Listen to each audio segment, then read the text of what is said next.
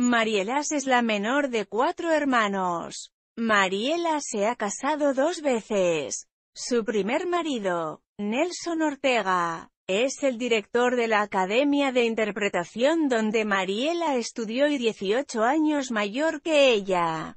Se casaron el 30 de julio de 1983 en Caracas. La pareja tuvo dos hijos. Marieli, nacida en 1984 y José Nelson, nacido en 1990. La pareja se separó en 1997. Su segundo marido es el productor argentino Rodolfo Jope con quien Mariela coincidió en las telenovelas Leonela y Luz María.